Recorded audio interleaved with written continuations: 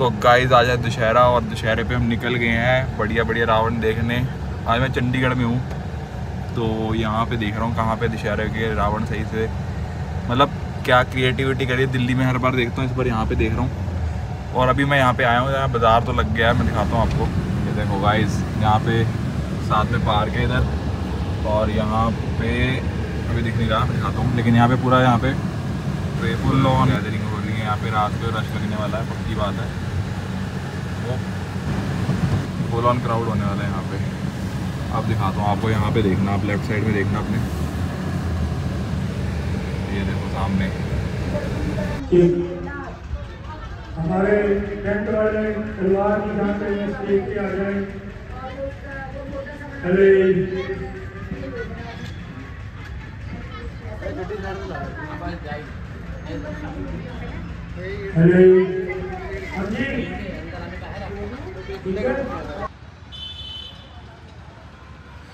ये तीन रावण, अभी ये नॉर्मल है, लेकिन बड़े वाले रावण ने, वो उधर है, जो इंडिया का सबसे बड़ा रावण बनाया है, जो 171 फीट का है वो।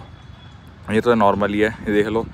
यहाँ पे आप आए शाम को तो मैं आऊँगा, नहीं तो वैसे तो देख ही।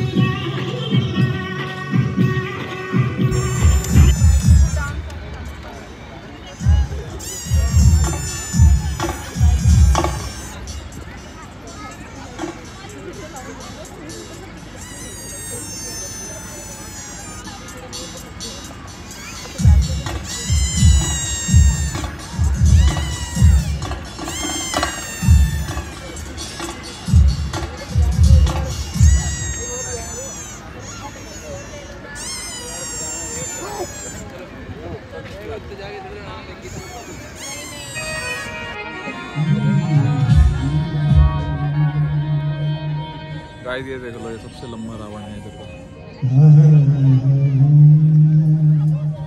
और पीछे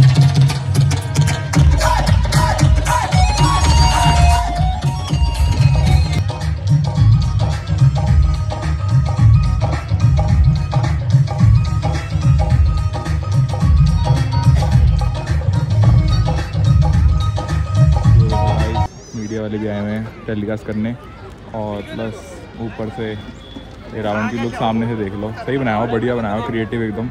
जुत्ती भी देख लो जुत्ती दिख रही है। बाकी मैंने आपको दिखाई दिया मेन और बाकी रात को जब आऊँगा शाम को इधर। पीछे वो शालीमार मॉल है सेक्टर पाँच का ये। और क्राउड देख लो एक बार। ये बैरिकेडिंग करी है पूरी। और ये क्राउड देख लो यहाँ पे। तैयारी हो रही है यहाँ पे। चीफ गेस्ट वगैरह आएँगे। और ये है मेन अट्रैक्शन तो यही है कि यहाँ पे सबसे बड़ा रावण है। 171 फीट का रावण है ये।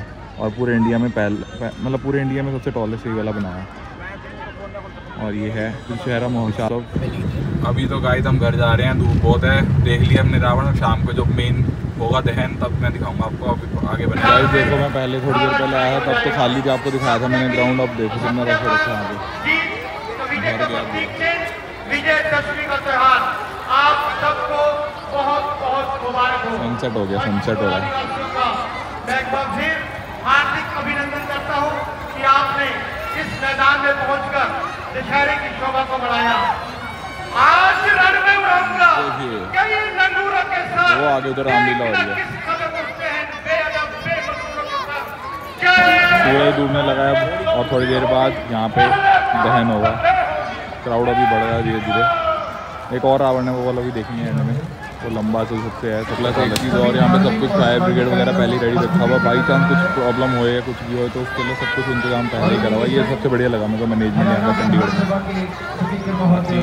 जब चलेगा तब तो दिखाएँगे। कि हमें अपने माता पिता की आज्ञा का पालन करना चाहिए। भाई का भाई के प्रति प्रेम, वनवास तो भगवान श्री राम को हुआ था। लेकिन भ्राता लक्ष्मण ने कहा कि मैं अपने भ्राता को अकेले जंगलों में नहीं छोड़ सकता। मैं उनके हर दुख तकलीफ़ में उनके साथ रहूँगा। चाहे मुझे जो भी मर्ज़ी कष्ट सहने पड़े। और चौदह वर्ष भगवान श्री राम के साथ रह करके उन्होंने उनके हर दुख सुख के अंदर साथ दिया। शिक्षा मिलती है कि भाई के प्रति भाई का प्रेम कैसे होना चाहिए?